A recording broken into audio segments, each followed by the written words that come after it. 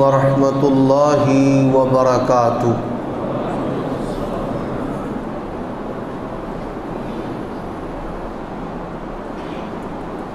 إن الحمد لله نحمده ونستعينه ونستغفره. ونعوذ بالله من شرور أنفسنا ومن سيئات أعمالنا من يهده الله فلا مزل له ومن يزلل فلا هادي له واشهد ان لا اله الا الله وحده لا شريك له وأشهد أن محمدا عبده ورسوله. أما بعد فإن خير الحديث كتاب الله. وخير الحدي حدي محمد صلى الله عليه وآله وسلم. وشر الأمور مهدساتها وكل مهدسة بدعة وكل بدعة ضلالة وكل ضلالة في النار.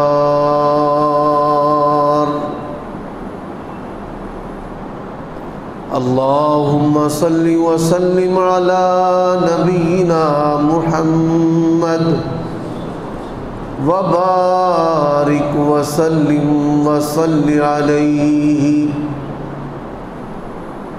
أعوذ بالله من الشيطان الرجيم.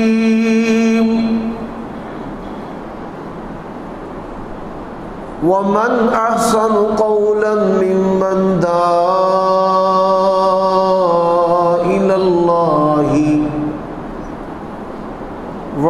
وعمل صالحا وقال إنني من المسلمين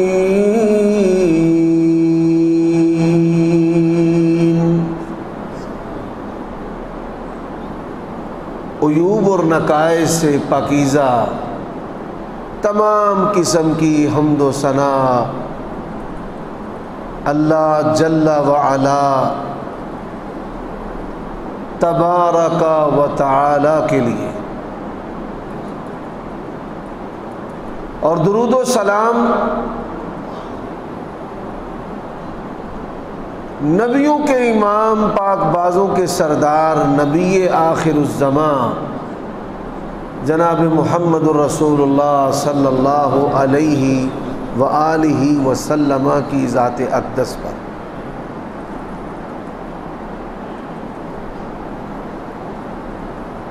مختصر وقت میں چند نصیحتیں جو اللہ اور اس کے رسول نے کی ہیں۔ اللہ تعالیٰ مجھے اور آپ سب کو اس پر عمل کی توفیق عطا فرمائے۔ سب سے پہلی بات، اللہ تعالیٰ نے ہمیں اپنی عبادت کے لیے پیدا کیا ہے۔ وما خلقت الجن والانس الا لیعبدون ہمارے بدن کی جتنی بھی ضرورتیں ہیں، وہ سب اللہ نے اپنے ذمہ لے لی ہیں۔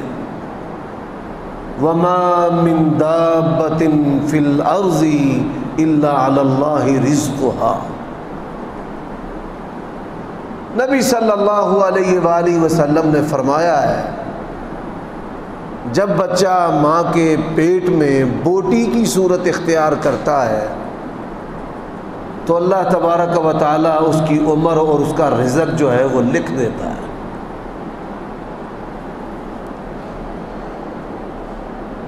شیطان نے ہمیں جانسا دیا ہے۔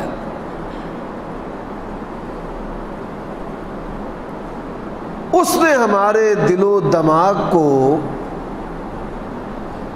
ایسا بنجر کر دیا ہے۔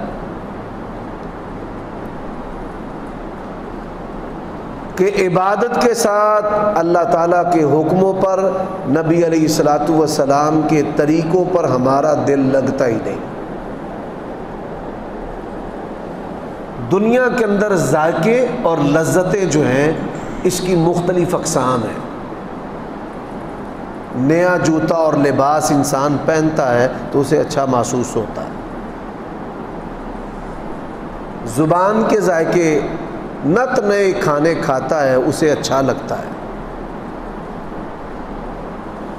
پھر میاں بیوی کے تعلق کا ایک ذائقہ ہے۔ اور پھر اولاد کے اندر اللہ تبارک و تعالیٰ نے جو لذت رکھی ہے، دنیا کی کسی نعمت کے اندر نہیں۔ لیکن یہ بات یاد رکھیں، عبادت کی جو لذت ہے وہ دنیا کی ہر لذت سے بڑھ کر، میاں بیوی کی لذت سے بھی بڑھ کر ہے۔ ہمارے پاس ہے نہیں۔ نبی علیہ السلاۃ والسلام کا فرمان ہے جو علت قرت وعینی فی اللہ تبارک و تعالیٰ نے میری آنکھوں کی ٹھنڈک جو ہے، وہ نماز کے اندر رکھ دی۔ صرف ایک اہل حدیث اور اہل سنت چاہیے جو یہ کہے عمل کے ساتھ کہ اللہ تبارک و تعالیٰ نے میری آنکھوں کی ٹھنڈک بھی نماز کے اندر رکھ دی ہے۔ میرے استاد اور شیخ حافظ عبد المنان نور پوری رحمہ اللہ وہ اکثر یہ بات طلباء کو سنایا کرتے تھے کہ کبھی وقت تھا مدارس کے اندر علماء کرام اساتذہ تحجد پڑھتے تھے، طلباء بھی پڑھتے تھے۔ اساتذہ اشراق پڑھتے تھے، طلباء بھی پڑھتے تھے۔ اساتذہ نمازوں کے پہلے اور بعد والے نوافل پڑھتے تھے، طلباء بھی پڑھتے تھے۔ اساتذہ تراوی پڑھتے تھے، طلباء بھی پڑھتے تھے۔ پھر ایک وقت آیا، استادوں نے تحجد چھوڑ دی، شاگردوں نے اشراق چھوڑ دی۔ پھر ایک وقت آیا، استادوں نے اشراق چھوڑ دی، شاگردوں نے نمازوں کے نوافل چھوڑ دیے۔ پھر ایک وقت آیا، استادوں نے، علماء نے نمازوں کے نوافل چھوڑ دیے اور شاگردوں نے فرض نماز کی تکبیر اولا چھوڑ دی۔ اور بڑے افسوس سے وہ کہا کرتے تھے کہ آج ایسا وقت ہے کہ نہ علماء نماز کی پرواہ کرتے ہیں، نہ عوام نماز کی پرواہ کرتے ہیں۔ تو عباد اللہ اللہ کے بندو، ہم نیک ہونا چاہتے ہیں لیکن ہو نہیں پاتے۔ ہمیں نیکی کا بخار چڑھتا ہے بڑی معذرت کے ساتھ۔ کسی پر دو دن رہتا ہے، کسی پر ایک ہفتہ رہتا ہے اور کسی پر ایک مہینہ رہتا ہے اور پھر اس کے بعد وہ پھر رب کا سرکش اور باغی اور تاغی ہے۔ آپ اس بات پہ غور کیجیے کہ ہماری جو طبیعت ہے وہ مستقل لے کیوں نہیں بن پاتی؟ اس کا سبب کیا ہے؟ ایک مفتی کے پاس گاؤں کے لوگ گئے انہوں نے کہا، مفتی صاحب، ساڈے خوہ کتا ڈگ پیا ہمارے کنویں کے اندر کتا گر گیا ہے۔ مفتی صاحب نے کہا، سو ڈول نکال دو، پانی کے سو ڈول نکال دو۔ انہوں نے سو ڈول نکال دیے۔ لیکن پھر وہ مفتی صاحب کے پاس آ گئے کہ سو ڈول نکال دیے، ذائقہ ویسے کا ویسا ہی ہے۔ وہ فرمانے لگے، سو اور نکال دو۔ انہوں نے سو اور نکال دیا۔ پھر آگے حضرت ذائقہ تو ویسے کا ویسا ہی ہے۔ انہوں نے کہا سو اور نکال دو۔ سو اور نکالا، پھر آ گئے مفتی صاحب پوچھتے ہیں، کتا بھی نکالا یا نہیں؟ کہنے لگے، حضرت آپ نے کتے کا تو کہا ہی نہیں، آپ نے تو ڈول نکالنے کا کہا ہے۔ جب تک آپ اپنے اس وجود کو، اپنے دل کو، اپنے دماغ کو، اپنے جسم کو اس کو پاک نہیں کریں گے تب تک کسی نیکی کا آپ پر رنگ نہیں چڑھ سکتا۔ یہ جو وجود ہے، یہ بڑا ظالم ہے۔ وما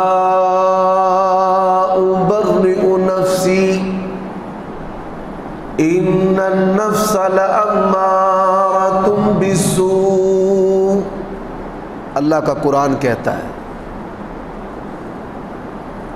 سب سے خطرناک جو چیز ہے وہ انسان کا نفس ہے۔ انسان کا نفس یہ سب سے خطرناک چیز ہے۔ یہی وجہ ہے کہ نبی صلی اللہ علیہ وآلہ وسلم آپ کے پاس سے آب کرام آتے تھے۔ وہ اپنے اس مادی وجود کے بارے میں سوال کرتے تھے کہ یا رسول اللہ، ہمارا دل سخت ہے۔ ایک سے آیا، اس نے کہا، یا رسول اللہ، مجھے رونا نہیں آتا۔ اب کون سی وہ چیزیں ہیں؟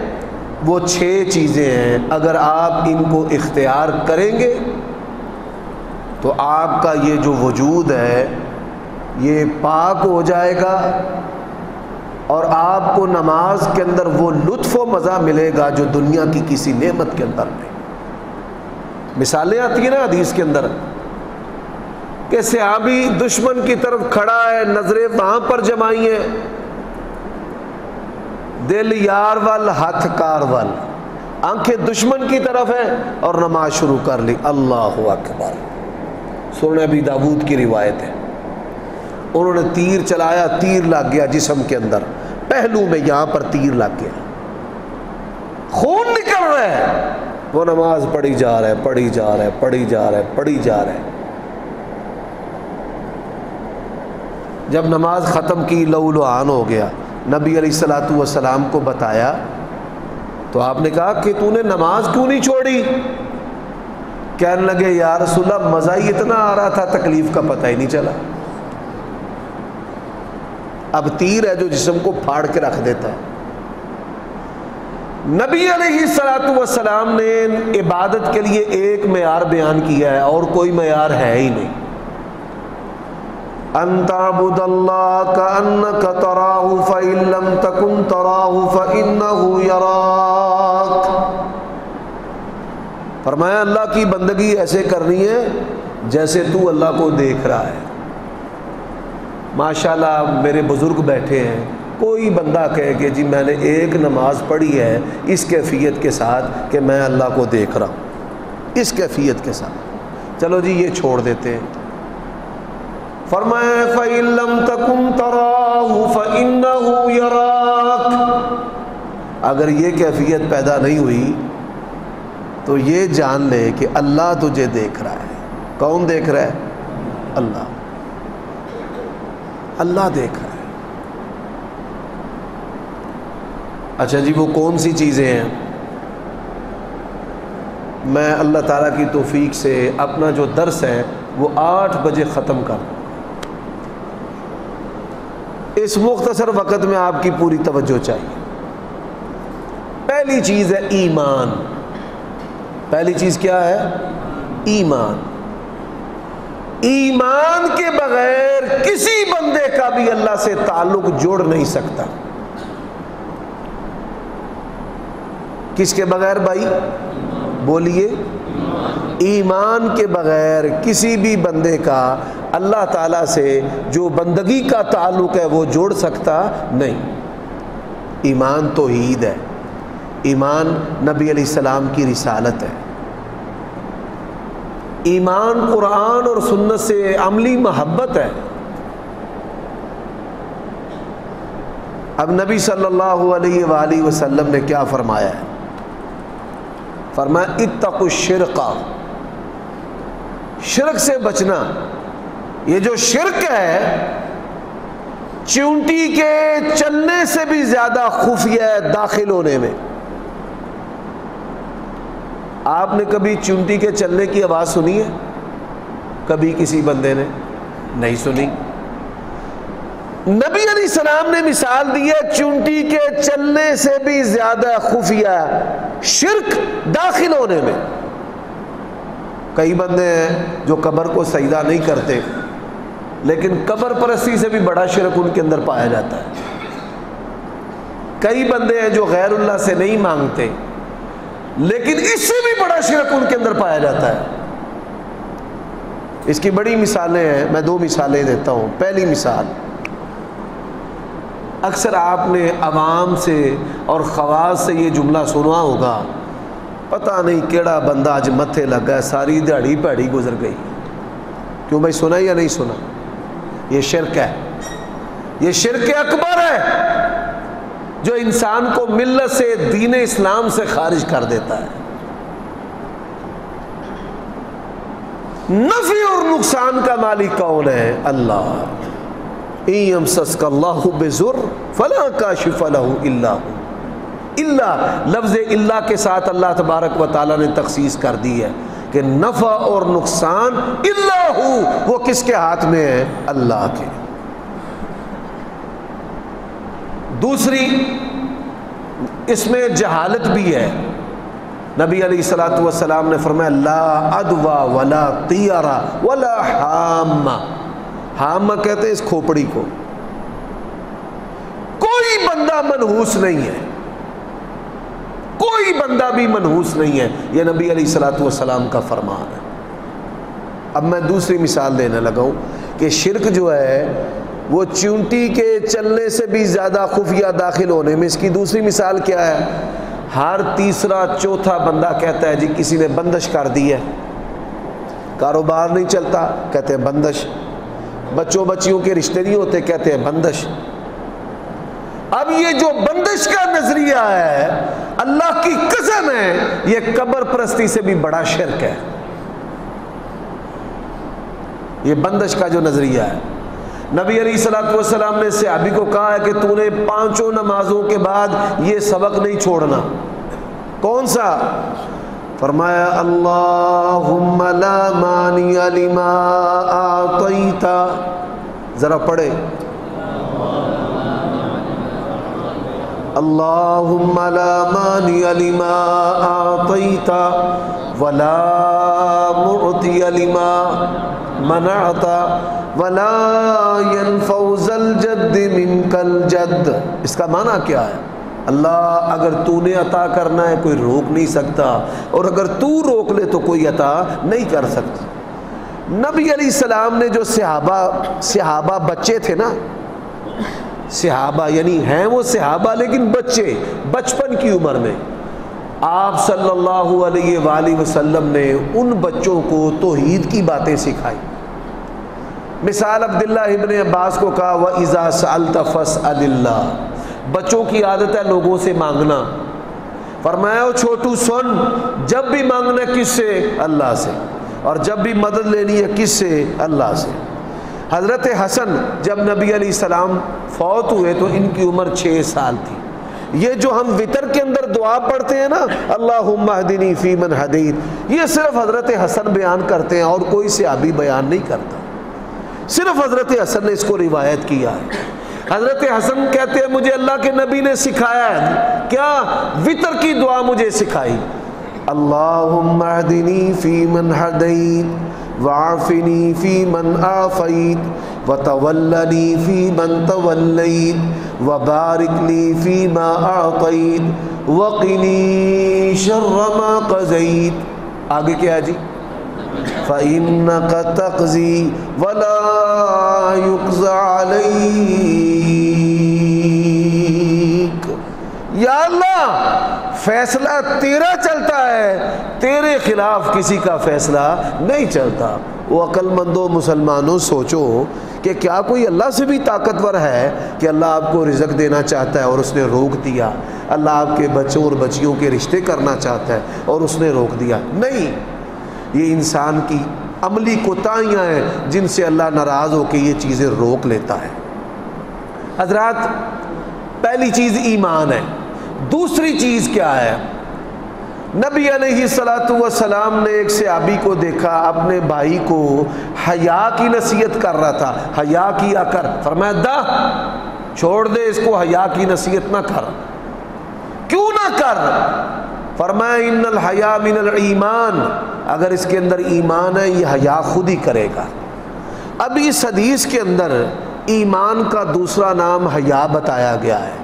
ایمان کا دوسرا نام کیا ہے؟ حیا۔ یہ بات بڑی سننے والی ہے۔ ایمان کا دوسرا نام حیا ہے۔ اب حیا کے اندر کیا ہے؟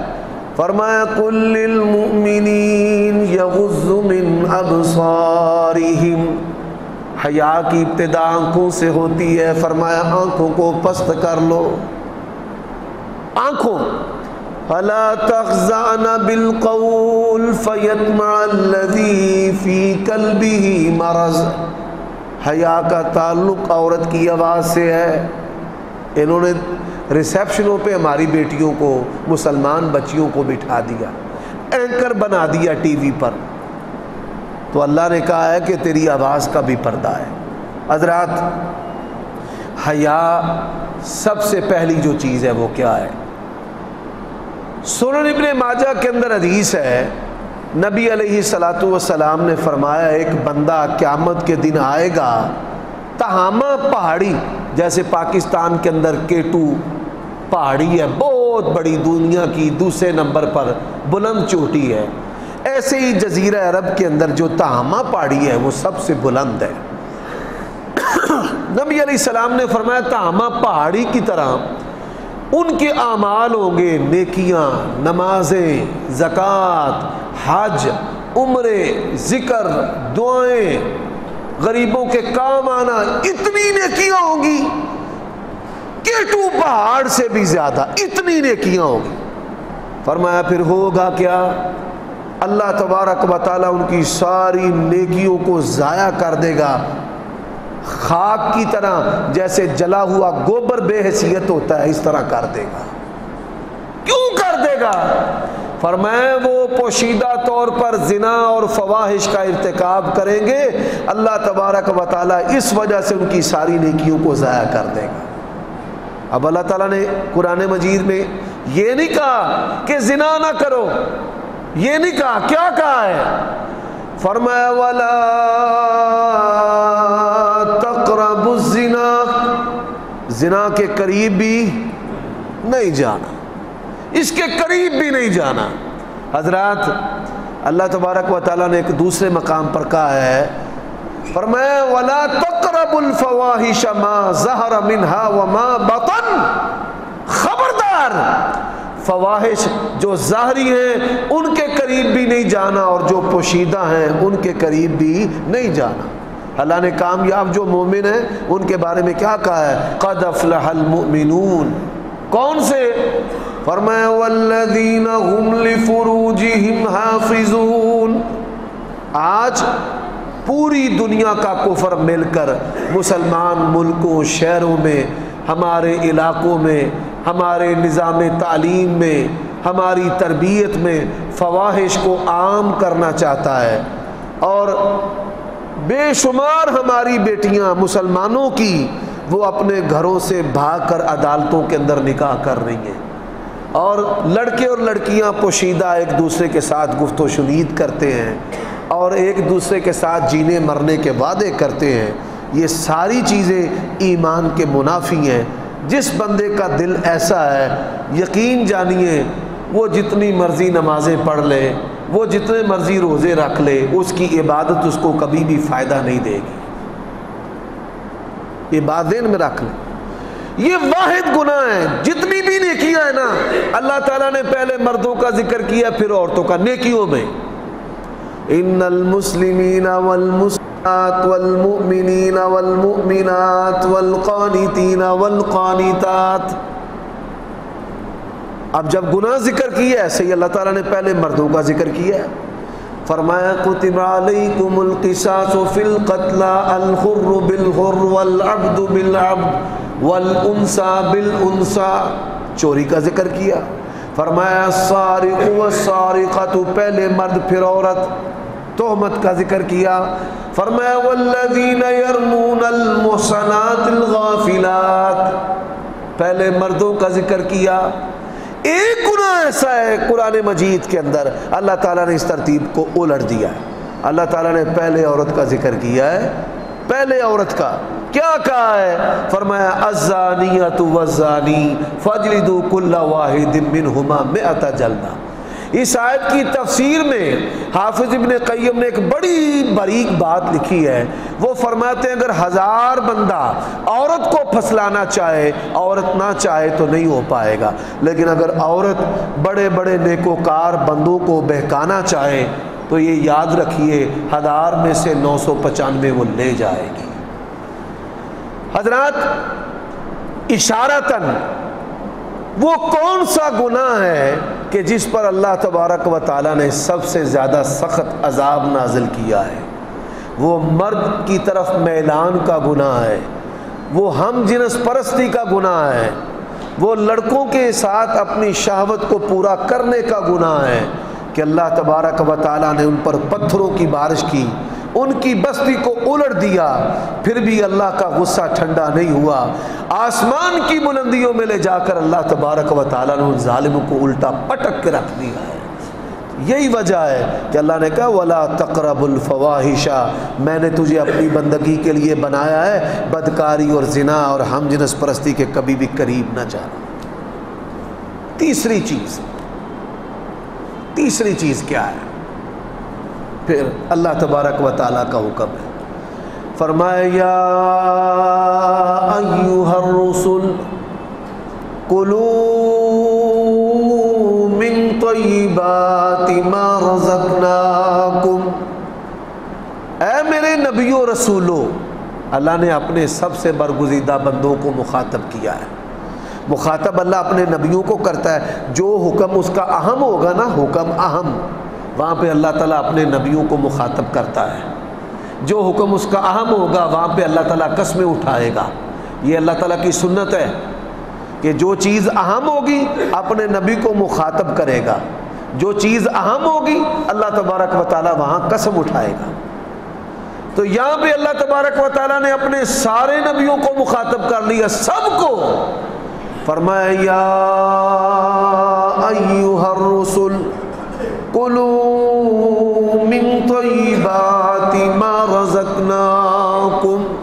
فرمایا، میرے برگزیدہ بندو نبیو رسولو جی اللہ جی فرمایا، جب بھی کھانا ہے، حلال کھانا ہے، حلال کے علاوہ تمہارے حلق سے نیچے نہ جائے۔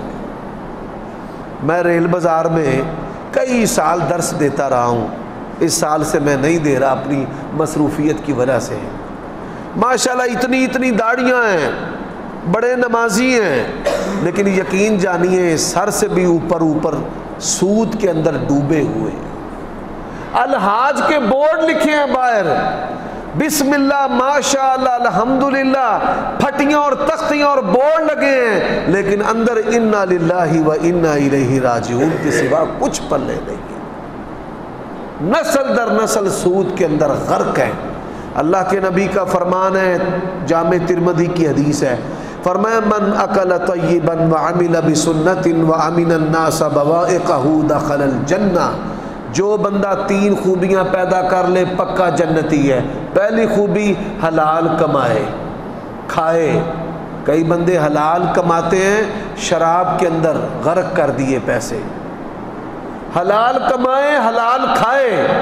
سنت کے مطابق زندگی بسر کرے، لوگوں کو تکلیف نہ دے، فرمایا، پکا جنتی ہے۔ حضرات، اب یہ تیسری چیز ہے رزق حلال۔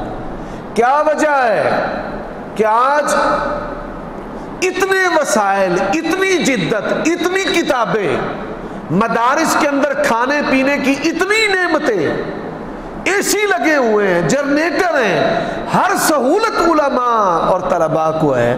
میں ان بچوں کو دیکھ رہا ہوں جو یہاں پر پڑھتے ہیں کہ آپ نے ان کو ہر سہولت دے رکھی ہے۔ کیا وجہ ہے کہ آج مولانا محمد رفیق سلفی ان جیسا، حافظ عبد المنان نور پوری ان جیسا، شیخ ابو البرکات رحمۃ اللہ علیہ ان جیسا، علامہ احسان اللہ ظہیر ان جیسا، شیخ الاسلام ابن تیمیہ ان جیسا، امام بخاری رحمہ اللہ جیسا پیدا کیوں نہیں ہو رہا؟ اس کا سبب کیا ہے؟ امام بخاری رحمہ اللہ ان کے والد جب دنیا سے جانے لگے تو وہ اپنے شاگردوں کو کہتے ہیں، لا اعلم فی مالی درہم من حرام ولا من شبہا۔ میرے مال کے اندر ایک پائی دور کی، ایک پائی ایک پائی، ایک پیسہ ایک پیسہ۔ حرام کا ہونا تو دور کی بات ہے، شک و شبے کا بھی موجود نہیں ہے۔ اللہ تعالیٰ نے اتنے پاکیزہ خون سے امام بخاری کو پیدا کیا ہے۔ مولانا یحییٰ میر محمدی رحمت اللہ علیہ ان کے جنازے پر گئے تو ان کے ایک عزیز نے بتایا کہ ان کی والدہ بیان کرتی ہیں کہ میں نے اپنے بچے کو جب بھی دودھ پلایا، وضو کر کے دودھ پلایا، اس کے بغیر دودھ نہیں پلایا۔ یہ وہ چیزیں ہیں جن سے اللہ تبارک و تعالیٰ نوازتا ہے اور پھر اولادوں کو اللہ تبارک و تعالیٰ منتخب کر لیتا ہے۔ میں الحمدللہ خود داڑھی والا ہوں، داڑھی کی ترغیب دیتا ہوں۔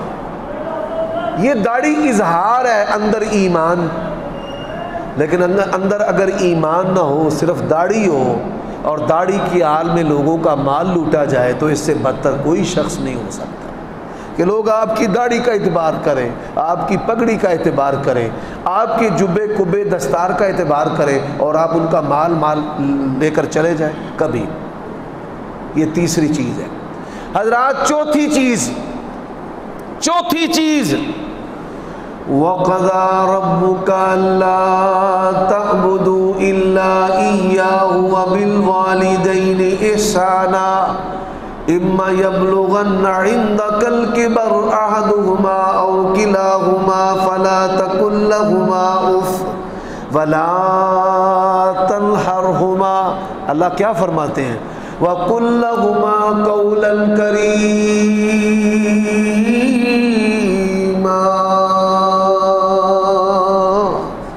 آج ہمارے معاشرے کے اندر سب سے زیادہ مظلوم جو طبقہ ہے، وہ والدین کا طبقہ ہے۔ اور بالخصوص جو باپ ہے، وہ شادی سے لے کر، اپنی شادی کا سامان کرنے سے لے کر مرنے تک بیچارہ گھستا رہتا ہے اور وہ عزت نہیں پاتا۔ حضرات، سب سے مظلوم رشتہ میں نے دیکھا ہے، تو باپ کا رشتہ دیکھا ہے کہ جو شادی سے لے کر مرنے تک بیچارہ لوگوں کے جوتے ہی کھاتا رہتا ہے۔ کبھی بیوی کے اور کبھی اولاد کے اور کبھی بچوں کے، کبھی کڑموں کے اور کبھی کسی کے اور کبھی کسی کے۔ بوڑھوں کو رکھا ہے معافیاں مانگنے کے لیے۔ یہ بات یاد رکھیں، اللہ کی رضا ماں باپ کی رضا میں ہے اور اللہ تعالیٰ کی ناراضگی ماں باپ کی ناراضگی میں ہے۔ آپ صف اول کے نمازی ہوں، آپ مؤذن ہوں، اگر آپ کے ماں باپ خوش اور راضی نہیں ہیں، آپ کی کسی بھی چیز کی اللہ کی بارگاہ میں کوئی حیثیت نہیں ہے۔ میں اکثر پوچھتا ہوں علماء سے بھی، ماں باپ کے ہاتھ چومتے ہو؟ ماتھا چومتے ہو؟ ان کی داڑھی چومتے ہو؟ نہیں۔ ان حدیثوں اور سنتوں پہ کس نے عمل کرنا ہے؟ اللہ کے بندو، یہ مظلوم ترین رشتہ ہے۔ جب بوڑھا ہو جائے، بچہ ہے۔ تجربہ اس کے پاس ہے۔ میری والدہ سلامہ، اللہ ان کو سلامت رکھے۔ وہ میرے، ان کی مہربانی ہے کہ ان کا سایہ شفقت مجھ پر ہے۔ تو میں ایک دن ان کو کہہ رہا تھا کہ آپ میں اور میری بیٹی میں اب فرق نہیں رہا۔ کہنے لگی، کیوں؟ میں نے کہا اب آپ بزرگ ہو گئے کہنے لگی، کیوں؟ میں نے کہا جیسے میری بچی اصرار کرتی ہے نا، بابا یہ چیز لے کر دو، لے کر دو، لے کر دو، لے کر دو، لے کر دو، جان نہیں چھوڑتی جب تک وہ چیز لا نہ دو۔ باپ بیٹی ہزار مرتبہ کہے گی نا، غصہ نہیں کرے گا۔ لیکن جب اس کی ماں اس کو دوسری سے تیسری مرتبہ کہے گی، کہے گا، صبر بھی کریا کرو۔ چپ بھی رہا کرو۔ ایک کری گل کر کے، لا الہ الا اللہ۔ میں نے دیکھا ہے مذہبی لوگوں کو توہین کرتے ماں باپ کی۔ مولوی صاحب ہیں، بڑا گھر ہے، ماشاءاللہ مجھے دکھایا، یہ دیکھو جی یہ میرا گھر ہے، یہ کمرے ہیں، یہ میرا بچہ ہے۔ میں نے کہا، آپ کے والد صاحب کدھر ہے کہتا وہ پنڈ رہی دن میں تیری مولوی پٹ میں پی گئی آ کک فائدہ نہیں ہو اللہ نے تو تجھے علم دیا ہے ماں باپ کی خدمت کرنے کے لیے، تو ان کی خدمت، وہ اور پر آدھے کو لیں باپ تو دیکھتا ہے کہ میری اولاد میں سے جو میرا دل شناس ہے، جو میرے مزاج کو سمجھتا ہے، جو میری خواہش کا احترام کرتا ہے، میں نے اس کے پاس تو پھر کیا بہانے کرتے ہیں؟ نہیں جی وہ شہر رہنا پسند نہیں کرتے۔ ایسا نہیں۔ خدمت کریں۔ خدمت۔ میں نے کہا ٹھیک ہے۔ آپ ان کے پاس چلے جائیں، ان کو کپڑے دیں، ان کو تحفے، تحائف دیں، ان کو پیسے دیں، ان کی جی حضوری کریں۔ یہ جو چاپلوسی ہے نا، کسی رشتے کی چاپلوسی جائز نہیں ہے، ماں سوائے ماں باپ کے۔ جو ماں باپ کا چاپ لوس ہے، چاپ کا مطلب ہوتا ہے پاؤں۔ لوس کا معنی چومنے والا۔ چاپ لوس جو ماں باپ کا ہے، وہ کامیاب ہے۔ اور اس کے علاوہ دنیا میں چاپ لوس کامیاب نہیں۔ تو یہ چیز ہے۔ اسی طرح حقوق کے اندر اولاد کے حقوق ہیں۔ اولاد کے اولاد کے حقوق، آپ شاید یہ زندگی میں پہلی مرتبہ مسئلہ سنیں۔ اولاد کے حقوق میں سے کیا ہے؟ تین سال کا بچہ ہے، باپ کے ساتھ دوستی ڈالنا چاہتا ہے۔ اگر وہ سگریٹ پیتا ہے تو وہ اپنے ابو کو لا کے دے گا ڈبی۔ جوتا کبھی اس کے سامنے رکھے گا۔ باہر جاتا تو روتا ہے، مجھے ساتھ لے جاؤ۔ باپ دوستی نہیں ڈالتا، وہ دوستی ڈالنا چاہتا ہے۔ باپ نہیں ڈالنا چاہتا۔ وہ روتا چھوڑ جائے گا اسے، دوستوں کے لیے، فلموں کے لیے، موبائل کے لیے لوگ اپنے بچوں کو مارتے ہیں۔ ایک دوست نے اپنے بچے کو مارا، منہ پر نیل پڑ گئے۔ کیوں مارا؟ بچے سے موبائل گر کے ٹوٹ گیا۔ اور میں نے کہا، ظالم، میں اللہ کی قسم رب کے گھر میں بیٹھا ہوں، میں آپ کو اپنی بات سناتا ہوں۔ علماء کی مجبوری ہے یہ اینڈرائڈ موبائل استعمال کرنا لوگ واٹس اپ کے ذریعہ بیرون ملک سے مسائل پوچھتے ہیں، حدیثیں ہوتی ہیں موبائل کے اندر، وہ ہم بھیجتے ہیں، دروس دیتے ہیں۔ علماء، میں نے اینڈرائڈ موبائل لیا تقریباً پینتیس ہزار روپے کا۔ ایک مولوی بندے کے لیے پینتیس ہزار کی رقم لگانا ہے۔ بڑی خطیر رقم ہے، ہمارے لیے۔ اب میں نے سیٹ لا کر گھر رکھا۔ تو میرا بچہ کھانا کھا رہا تھا، گھی والے ہاتھ تھے اس کے۔ اس نے میرا وہ سیٹ پکڑا۔ جب دیکھا نا کہ اس کو تو گھی لگ گیا ہے، اس نے کیا کیا؟ شاور کے نیچے لے جا کر بیسن کے اندر صابن اس کو لگایا اور اس کو دھونا شروع کر دیا۔ جب ماں کو پتا چلا اس نے ڈانٹا ایک دو لگائی، میں آیا تو بڑا ڈرا ہوا اس نے۔ میں نے اس کو اپنے ساتھ لگایا۔ میں نے کہا اللہ کے نبی نے فرمایا، جب تیرا بیٹا آ جائے، تیری اولاد آ جائے، مال ان کا ہے، مال وارثوں کا ہے، پتر، میں تو چوکی دار میں نے کچھ نہیں کہا۔ میرے ادارے کے اندر ایک بچہ حفظ کرتا ہے، الحمدللہ دو سو بچے وہاں پہ حفظ کرتے ہیں۔ اللہ تعالیٰ اس ادارے کو بھی کامیاب کرے۔ مولانا عبد القدیر صاحب کو صحت دے عفیت دے، برکت دے۔ یہ اللہ تعالیٰ اس پودے کو قیامت کی صبح تک انشاءاللہ مالک نے کامیابی سے آباد رکھنا ہے۔ ایک بچہ نہیں آیا کتنے دن؟ تو میں نے پتہ کیا، پوچھا، کہتے ہیں جی بچہ، اس کا آپریشن ہوا ہے۔ میں استادوں کو لے کر، اس کے قاری صاحب کو لے کر پتہ لینے چلا گیا۔ پتہ چلا کہ اس کی نا، یہ ہاتھ کی جو انگلیاں ہیں نا، دو انگلیاں کٹ گئی ہیں۔ کیسے کٹ گئی ہیں؟ وہ بتائیں نا۔ بچے نے کنکر لے کر باپ کی گاڑی کے اوپر لکھائی کی۔ باپ نے غصے کے اندر آ کے رینچ مارا اور اس کے دونوں پور اتار دی یہ پیپ رینچ نہیں ہوتا، آپ کو پتہ ہے، وہ خطرناک آگے سے ہوتا ہے۔ وہ پیپ رینچ مارا، آگے سے پوری اتار دی۔ اور بعد میں باپ بھی ٹکرے مارے۔ اس نے گاڑی کے اوپر کیا لکھا؟ آئی لو مائی پاپا یہ ہمارے محلے کا واقعہ ہے۔ جو بندہ بھی چاہے آ کر دیکھ سکتا ہے، پوچھ سکتا ہے۔ یہ بد نصیبی ہے۔ حضرات آج اولاد کے حقوق میں سے ایک حق ہے۔ انور مسیح ہے جو ہماری مسجد کے اور مدرسے کے واش روم صاف کرتا ہے۔ مجھے کہنے لگا، حافظ صاحب، مجھے کسی مدرسے میں لگوا دو، کسی اچھی جگہ پہ، فیکٹری پہ۔ میں نے کہا، کیا وجہ ہے؟ تو تو اسپتالوں میں جاتا ہے۔ کہتا ہے حافظ صاحب، میں جاتا ہوں، میں کیا کروں، کیا دیکھوں؟ بچیوں کے دھڑ اور جسم کے ٹکڑے ماں کے پیٹ میں سے اکھیڑ اکھیڑ کر گٹروں میں پھینکے ہوئے۔ وَإِذَا الْمَعُودَةُ سُعِلَتْ بِأَيِّ ذَنْبٍ قُتِلَتْ۔ کئی ایسے بھی بد نصیب ہے بچے کو لباس اچھا پہنائیں گے، بچی کو نہیں۔ بچے کو کھانا کھلائیں گے، بچی کو نہیں۔ بچے کے لاڈ کریں گے، بیٹی کے نہیں کریں گے۔ ایک صحابی تھا، اس کی بیٹی آئی۔ اس نے اس کو اٹھایا، بٹھایا، بیٹا آیا، چوما، پیار کیا۔ نبی علیہ السلاۃ والسلام غصے میں آ گئے۔ فرمایا اللہ عرش والا رب تجھ پر ناراض ہے۔ جیسا سلوک تو نے اپنے بیٹے کے ساتھ کیا ہے، ویسے سلوک اپنی بیٹی کے ساتھ۔ کیا میں کپڑے خریدنے جاتا ہوں، کئی لوگ وہاں پر خریدتے ہیں۔ بچی کے کپڑے لینے ہیں آٹھ سو کے، چھ سو کے، ہزار کے۔ بچے کے لینے ہیں تین ہزار کے۔ یہ کیا انصاف ہے؟ خوراک میں، لباس میں، محبت میں۔ اللہ کے نبی نے فرمایا بیٹیوں کا وصف ہے، آنی ساتھ مونی ساتھ فرمایا یہ پیار دیتی بھی ہیں، پیار لیتی بھی ہیں۔ تو یہ چوتھی چیز ہے حقوق۔ ہمسایوں کے حقوق، جانوروں کے حقوق۔ ایمان، کردار کردار، رزق حلال، حقوق۔ اور پانچویں جو چیز ہے وہ کیا ہے؟ یا ایوہ الناس عبدو ربکم الذی خلقکم والذین من قبلکم لعلکم تتقون۔ اللہ کی بندگی۔ کس کی بندگی؟ بولو بھائی کس کی؟ اب اس کی بندگی سب سے پہلے قرآن کی تلاوت۔ سب سے پہلے قرآن کی تلاوت۔ نہ سڈیا گھر چندیے تو نہ سڈیا مسجد چندیے جو لوگ حاج عمرے پر گئے ہیں، کوئی ایک مسجد مجھے دکھا دے سعودی عرب کے اندر، عرب علاقوں میں، کہ جس مسجد کے اندر آگے ریلیں، ریلوں کے اوپر مصحف قرآن مجید نہ پڑے ہو۔ نہ سی مسیطہ چ پڑھنے ہیں، نہ کراں چ پڑھنے ہیں۔ بلکہ آپ سروے کر لیں۔ اتنی قرآن کی توہین کافر بھی نہیں کرتے جتنی مسجد و مدرسوں میں ہوتی ہے۔ ورکے پاٹے تھلے رول دینے کٹے پینے ہوتے چوہے چڑے نے، چھپکلیاں نے انڈے دیتے نے وٹھا کیتیاں نے۔ یہ کیا ہو رہا ہے؟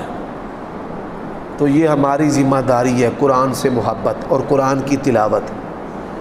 تری سپارے نے، ہر سپارے کے اندر اٹھارہ صفحے ہیں، ہر صفحے پر سولہ سترے ہیں۔ ہر نماز کے بعد اگر آپ چار صفحے پڑھیں گے نا، تو بیس صفحے ایک پارا ختم ہو جائے گا۔ اللہ کے نبی کی متروک سنت ہے، آپ ہر رمضان کے اندر قرآن کی تلاوت ایک دفعہ مکمل کرتے تھے۔ ماں سوا وہ رمضان کہ جس کے بعد آپ دنیا سے چلے گئے، دو دفعہ آپ نے قرآن مجید کا دور کیا ہے۔ تو میرے بھائیوں قرآن مجید۔ نمبر دو، نوافل، نفل چور ہے ہم جماندرو نفل چور ہیں۔ جماندرو، میں نے دیکھا ہے یہاں پر کئی بندے فرض نماز پڑھ کے اتنے چوکڑا مار کے بہ گئے درس سنا ناستے اتنے سیدھے ہو گئے کس نے تمہیں اجازت دی ہے نفل چوری کرنے کی؟ مجھے بتاؤ، صحابہ میں سے کوئی ایک بندہ جو نفل چھوڑتا ہو۔ کوئی ایک بندہ جو تراوی کی نماز چھوڑتا ہو، ایک بندہ صرف بتا دو۔ یہ مولوی نہیں جے پڑھ دے، بڑی معذرت نہ لے۔ میں گھر درس دینے کے لیے گیا۔ بہت عالی شان مسجد۔ بندے کتنے تھے؟ دس۔ درس سننے کے لیے بعد میں آ رہے تھے۔ میں نے وہاں پر جا کے تراوی پڑھی۔ بندے دس۔ میں آخیا ماشاء اللہ خطیب صاحب وہ تبلیغ کرن ٹر جاندے نے۔ امام صاحب وہ فرض پڑھا کے ٹر جاندے نے۔ صدر صاحب وہ کالیاں باغوں ٹر جاندے نے۔ کیسے مسجد آباد ہوگی تراوی نوافل کی پابندی۔ اللہ کے نبی نے فرمایا جو بندہ دس رکھتے پڑے گا، میں محمد رسول اللہ صلی اللہ علیہ وسلم اس کو جنت کی بشارت دیتا ہوں۔ دو فجر کی سنتیں، دو زور سے پہلے، دو زہر کے بعد، دو مغرب کے بعد، دو عشاء کے بعد۔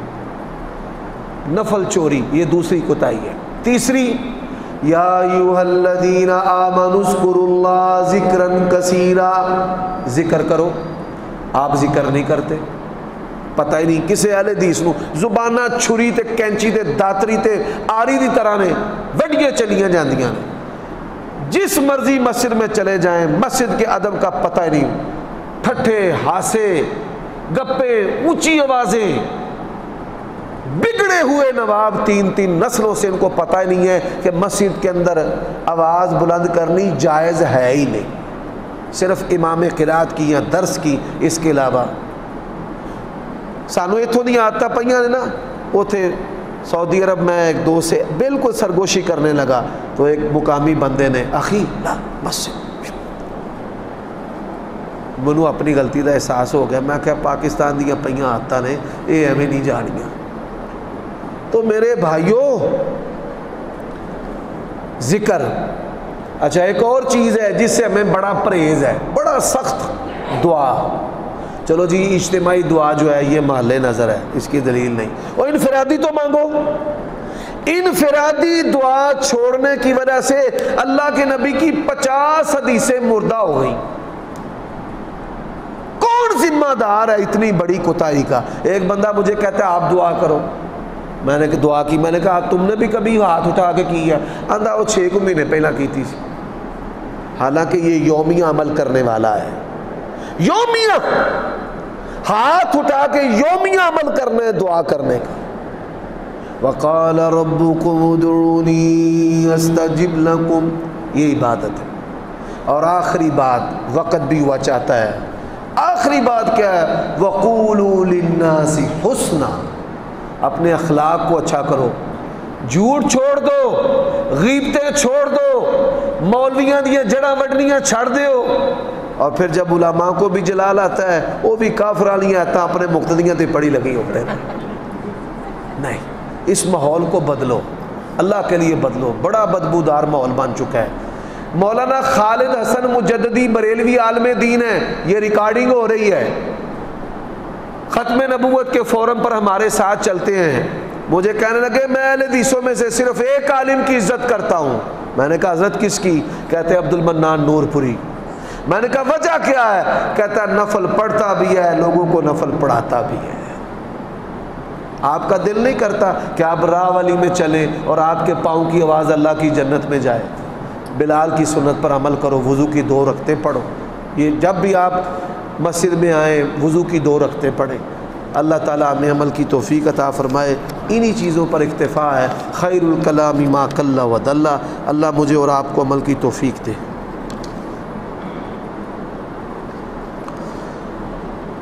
لاہور میں ایسا اسپتال ہے کہ اگر عورت کے ہاں بیٹی پیدا ہوتی ہے تو ٹیکنالوجی کی مدد سے بیٹا ہوگا۔ اس حالت میں مواحد عورت کو مرد مجبور کرتے ہیں کہ ہم دوسری شادی کریں گے یا آپ کو طلاق دے دیں گے یا اربوں کی پراپرٹی کا وارث کون ہوگا؟ جو طب کی کتابیں ہیں، ان طب کی کتابوں کے اندر ایسی ادویات موجود ہیں کہ جن کے کھانے سے اولاد نرینہ پیدا ہوتی ہیں۔ اور ان چیزوں کو اختیار کرنے میں اللہ تعالیٰ کی تقدیر نہیں بدلتی۔ لاکھوں دوائیاں کھا لیں، اگر اللہ نے آپ کو شفا نہیں دینی تو آپ کو شفا مل سکتی ہے۔ یہ دوائیاں تبھی فائدہ دیتی ہیں جب اوپر سے اللہ کا فیصلہ ہوتا ہے۔ دوائیاں کھانے میں، ٹیکنالوجی اختیار کرنے میں شرعن کوئی عرض نہیں ہے۔ یہ میرا فتویٰ نہیں ہے، یہ مجھ سے بڑے مشائق، علماء کرام ان کا فتویٰ ہے۔ اس میں کوئی شرعن کباہت نہیں ہے۔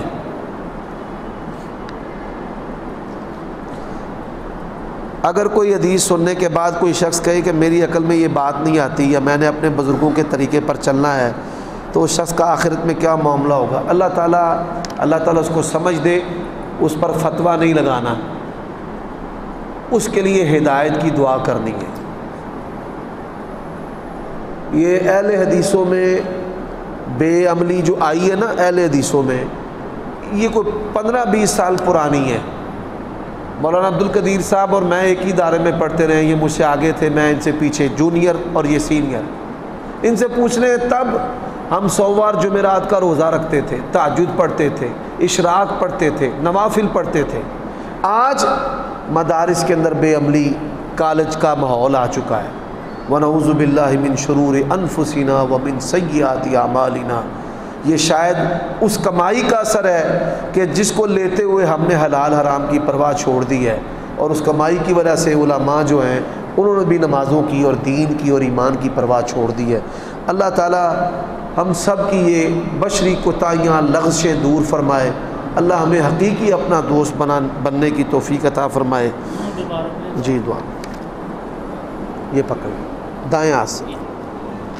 الحمد للہ حمدن کثیرا طیبا مبارکا فی اللہم صلی وسلم علی نبینا محمد مبارک وسلم وسلم علیہ اے اللہ، اس مسجد کو بنانے والے، چلانے والے، خطیب، امام، مقتدی، معاونین، سب پہ اپنی رحمت فرما۔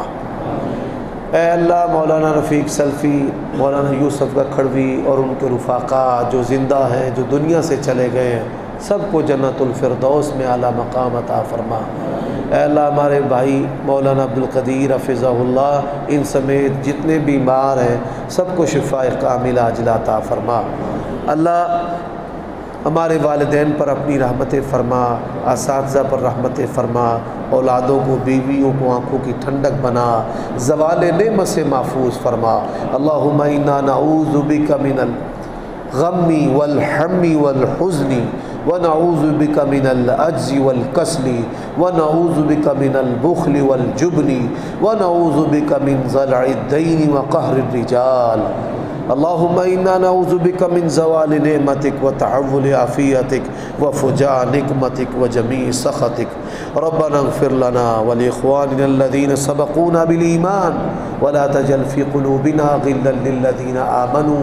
ربنا إنك رؤوف رحيم. صلى الله تعالى على نبينا محمد وبارك وسلم وصل عليه.